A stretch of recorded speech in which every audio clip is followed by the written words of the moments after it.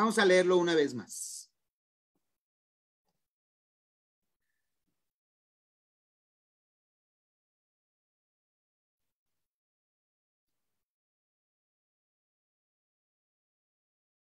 Gracias, Andrea. Dice, acuérdense que estamos hablando de las prestaciones de previsión social. Dice, la exención aplicable a los ingresos obtenidos por concepto de prestaciones de previsión social se limitará cuando la suma de los ingresos por la prestación de servicios personales subordinados y el monto de la exención, ¿verdad que estamos hablando de la limitante del concepto de previsión social? La suma de estos más los sueldos y salarios se limitará cuando la suma de estos dos conceptos rebase el monto de siete veces el salario mínimo, que sabemos debería hacer referencia a la UMA. Me dice, cuando, cuando dicha suma exceda de la cantidad citada, solamente se considerará ingreso no sujeto al pago del impuesto un monto hasta de un salario mínimo elevado al año. Entonces, en nuestro ejemplo numérico, las prestaciones de previsión social entregadas fueron 145 mil, por lo que de acuerdo a este penúltimo párrafo, solamente una UMA elevado al año se considera exento, lo que hace que la diferencia entre lo pagado y la exención esté grabado. Ahora, les decía, por eso tengan cuidado, el, el fiscalista tiene que estar también presente en la fecha en que se diseñe el contrato de la empresa. Si se van a pagar estos conceptos, hay que tener cuidado de limitarlos, de establecer una limitante. Ya les decía el ejemplo, hay que limitar la edad de las personas a las que les va a llegar el concepto, cuántos, a cuántos miembros de la familia le pueden llegar, etcétera. Porque quiero que te imagines, si no tienes contemplado este, esta limitante en las retenciones, imagínate que todo el año me consideraste exento 109 mil pesos y que en el cálculo anual al trabajador lo obligues a grabar 109 mil pesos. ¿Sabes qué cantidad de impuesto le va a resultar en el anual? Se va a ir de espalda. Se va a ir de espalda. Y nótese, señores, que, que al rato vamos a revisar, que incluso hay casos que el monto por el, por el que estamos haciendo la limitante no rebasa el monto por el cual la empresa no está obligado, no está, está obligado incluso a presentar su cálculo anual. Si el trabajador no cumple con ciertos requisitos, entonces la empresa tendrá la obligación de hacerle el cálculo anual al trabajador que estoy analizando. Y en, imagínate que en la declaración en, el mes de diciembre, en lugar de hacerle llegar a aguinaldo, le retengas una cantidad espantosa de impuesto, te vas a meter en un problema. Entonces, aguas con esta limitante. Queda claro, queda claro que qué es lo que está, qué está limitando esta, este último y penúltimo párrafo del 93 Señores, que no pretendas remunerar al trabajador a través de prestaciones de previsión. Fíjate, le estoy pagando de sueldo 125 mil y le estás pagando de prestaciones 145 mil pesos, un poquito más de lo que le pagas de sueldo. Esa es una. ¿Vale? Eso es lo que pretende esta limitante. Pero existe un segundo enunciado existe un segundo enunciado que hay que analizar.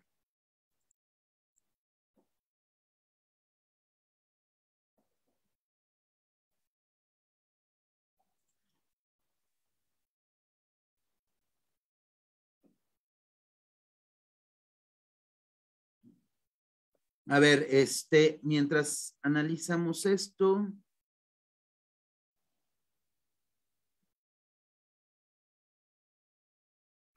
Ok, bien. Hay un comentario, hay una pregunta aquí de Cassandra. Me dice, en el caso de las retenciones, yo como patrón estoy obligado al pago de retenciones de ICR, claro. en la declaración mensual. Eso tiene que cuadrar con cada retención que se le hace al trabajador en un recibo de nómina al mes. Ok, sí. Digo, yo le retengo en el mes de enero enteras el día 17 a más tardar, ¿no? Sí, totalmente de acuerdo. Ahora, si yo, patrón, presento mis declaraciones como debe ser el trabajador, no tendría problema en su declaración anual. Así es, Cassandra. Así es. No tendría por qué haber ningún problema. Estoy de acuerdo contigo. Bien. Este, este es el ejemplo del primer enunciado. ¿Alguna duda, Francisco, en línea? Por favor, si eres tan amable. Por el momento no tenemos preguntas, profesor. De acuerdo. De acuerdo. Ahora, vamos a leer. Eh, por el momento nada más he recibido respuesta de una persona. Ni modo, igual y te toca nada más a ti, Adrián.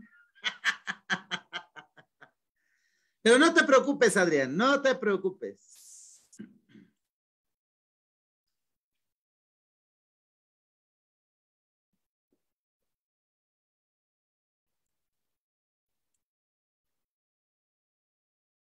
Es más, Adrián, no te preocupes, te voy a hacer, te voy a hacer llegar un presente, algún, algún material especial te haré llegar, Adrián, por tu participación. Muy bien. Ok, vamos con el segundo enunciado, por favor. Segundo enunciado de este párrafo.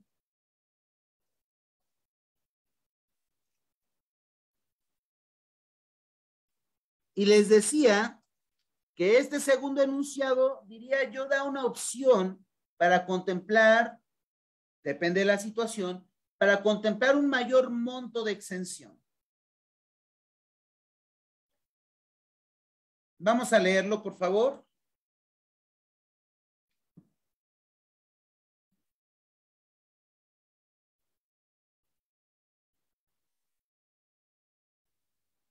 Francisco, ¿me ayudas con la lectura nada más para eh, que escuchen otra voz, si eres tan amable? Sí, claro que sí, profesor. Empezando de hasta limitación, ¿verdad?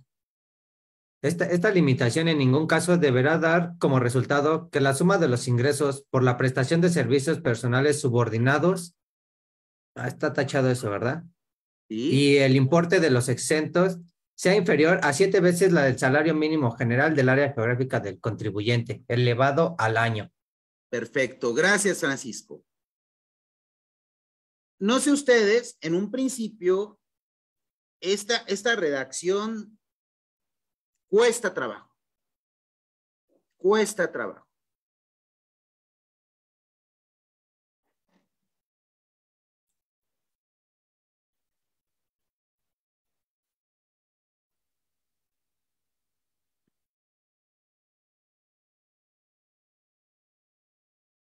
Vamos a ejemplificar.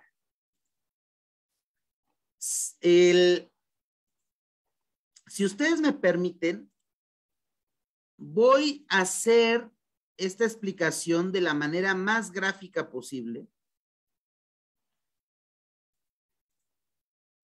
De la siguiente forma. ¿Qué me está, qué me está diciendo este párrafo? En pocas palabras, me está diciendo y me está permitiendo exentar, dependiendo de la situación, un monto mayor, un monto mayor que el que contempla el primer enunciado de este penúltimo párrafo. Entonces, déjame ilustrarlo así.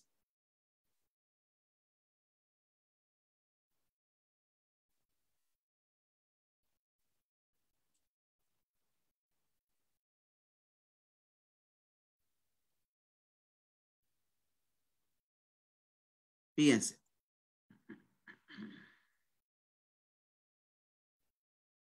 El párrafo en comento me establece que se pudiese considerar exento el espacio que existe entre lo que pagas de sueldo y hasta siete veces el valor de la UMA.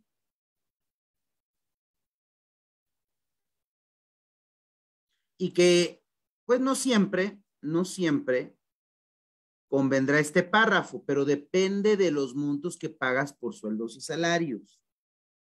Entonces, fíjense. Imagínense, bueno, esto es para los contadores de la vieja escuela.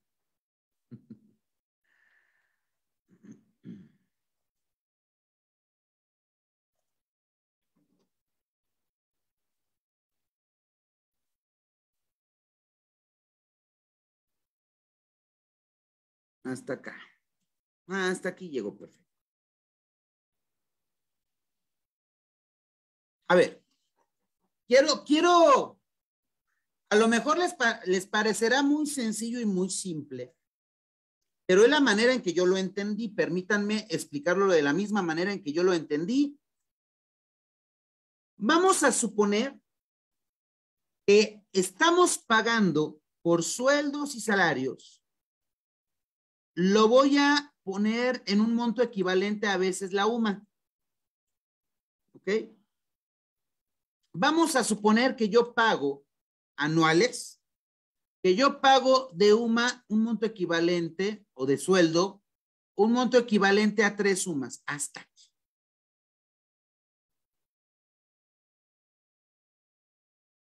Ya me quedó claro que el monto que pagas por prestaciones y sueldos y salarios es mayor que siete veces el valor de la UMA. Si no, señores, no tienen, no tienen ni por qué voltear a ver el párrafo. Pero estarás de acuerdo que también depende del caso en particular del que me estés hablando, depende del sueldo del trabajador. El monto que tú estás pagando de sueldos y salarios es equivalente a, a tres sumas anuales. Esto es lo que pagas de sueldos y salarios.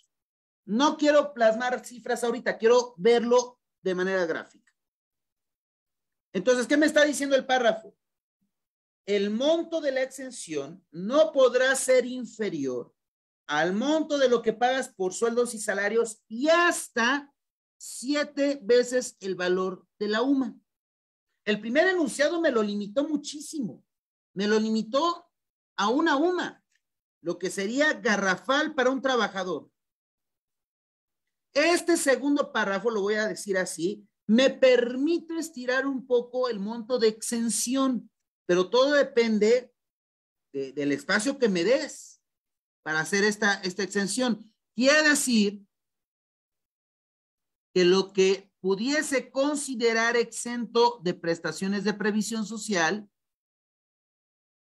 es de tres hasta siete UMAS anuales. Lo voy a poner en rojo este, este espacio que hay entre los sueldos y hasta siete veces el valor de la UMA es susceptible de, de exención. Es susceptible de exención. Entonces, el primer enunciado muy cruel muy limitante el monto de la exención. El segundo podría darte otros elementos. Pero aguas, ¿de qué depende? Vamos a plasmar el mismo caso, pero vamos a variar el monto de sueldos y salarios. Ahorita, ahorita si quieren les, dejo abierta la, la, página para que hagan captura de pantalla. ¿Qué quiere decir esto, señores? Vamos a suponer que yo pago más de siete veces el valor de la UMA, de sueldos y salarios. Y aparte pagas prestaciones de previsión social. Entonces, ¿qué va a pasar con este monto? Lo que va a hacer, entre más aumente el monto de los sueldos y salarios, el monto susceptible de exención se va a ir para acá. Es decir, voy a tener menos margen en el segundo enunciado de considerar exentos. Si llegase el momento en que los sueldos y salarios, que el monto que estoy pagando de sueldos y salarios sea mm, equivalente o mayor a 7 UMAS. ¿Qué es lo que quiere decir, señores? Que si pagas mayor monto de sueldos y salarios, menor será el monto susceptible de exención de acuerdo al segundo enunciado. Pudiese darse el caso de que si el monto de los sueldos sean tan grandes hasta el monto de siete veces el salario mínimo o el valor de la UMA, entonces no le aplicará, no le aplicará la exención del segundo enunciado.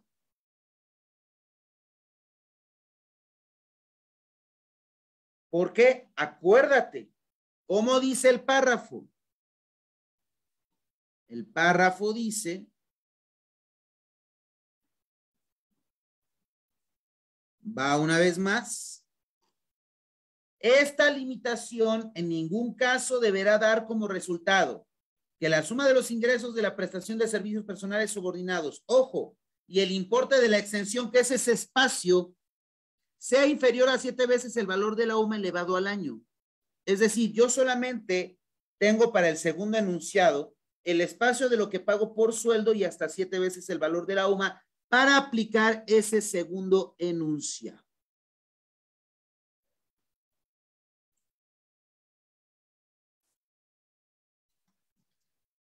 ¿De acuerdo?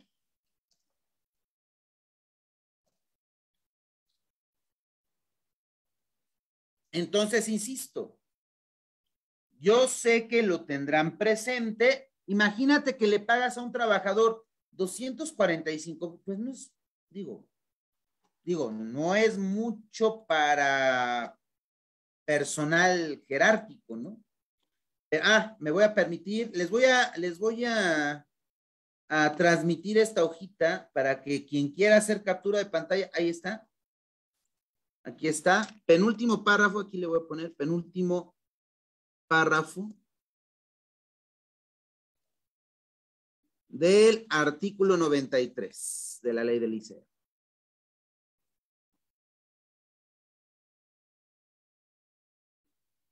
Hombre, gracias, Harvey.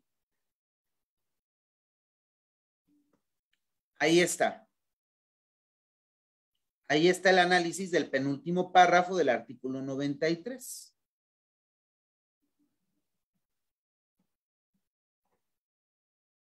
Entonces, apliquémoslo a nuestro caso práctico.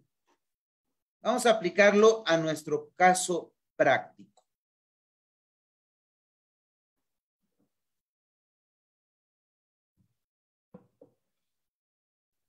Segundo enunciado.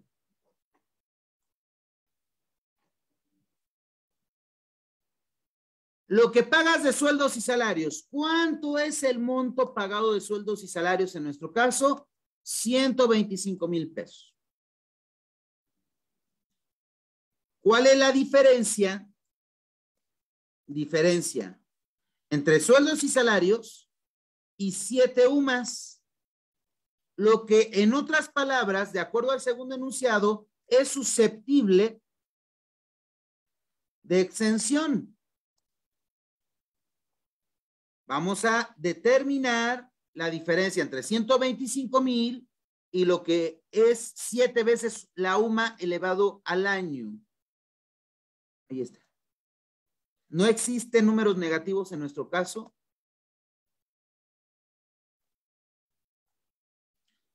La diferencia entre lo que pagas de sueldo y siete UMAS es de 120,842.10.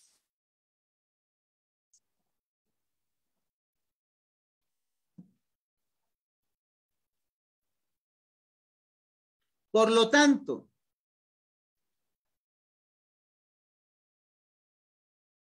por lo tanto, de lo que estamos pagando, el pago de prestaciones de previsión social, lo entregado lo habíamos puesto, ¿verdad? Entrega de prestaciones de previsión social son 145 mil pesos. Si de acuerdo al segundo enunciado,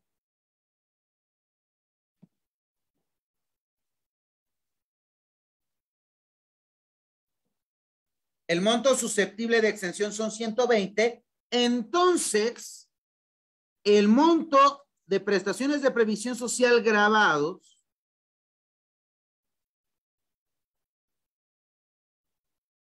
sería la diferencia entre lo que pagas y lo que es susceptible de exención, 24,157.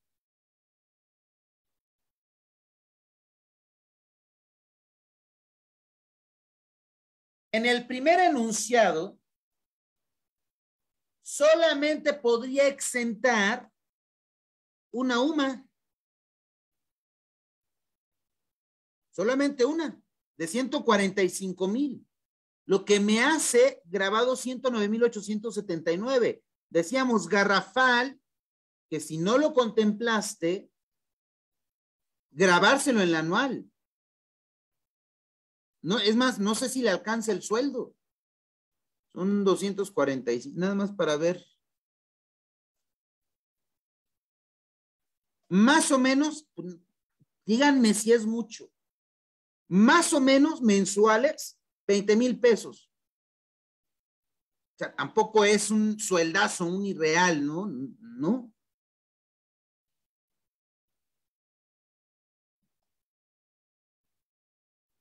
Entonces, aguas con esos conceptos. Fíjate, si tú le pagas a tu trabajador 245 mil pesos y le pagas algún concepto de prestación de previsión social, ya estoy fuera del rango. ¿eh? ¿Cuánto podrías pagarle? Fíjense la pregunta. ¿Qué monto de prestaciones de previsión le podrías pagar a tu trabajador si le pagas más de 245 mil pesos? No más de 35 mil 120 pesos. Si le pagarás más, entonces, cierto, ese monto que excediera estaría grabado.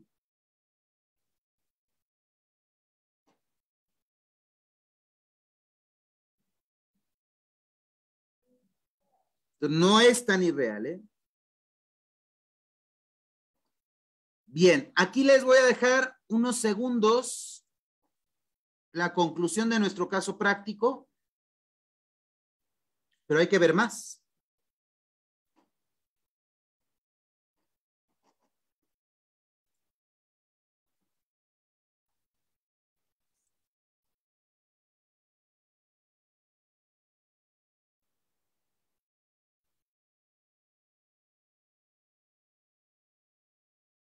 Bien, vamos a tomar un pequeño receso, contador.